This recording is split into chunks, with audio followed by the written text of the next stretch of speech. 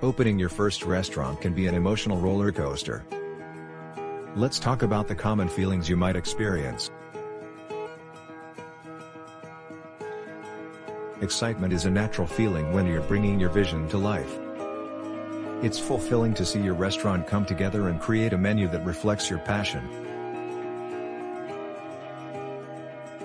However, it's also normal to feel nervous. 60% of new restaurants close within the first year, and there's always a level of uncertainty about how well your restaurant will be received.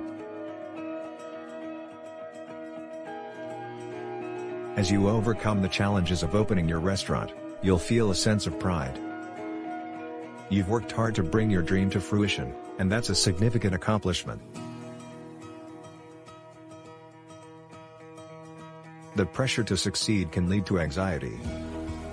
You may worry about various aspects such as finances, staffing, maintaining quality, and meeting customer expectations.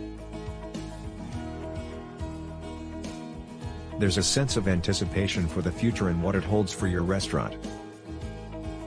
You may eagerly await the first customers, positive reviews, and the growth and success of your business.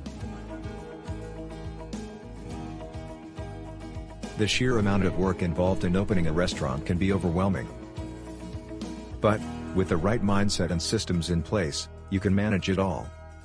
As you witness customers enjoying their meals, a deep sense of satisfaction sets in. You've created a space where people can gather, enjoy good food, and have memorable experiences.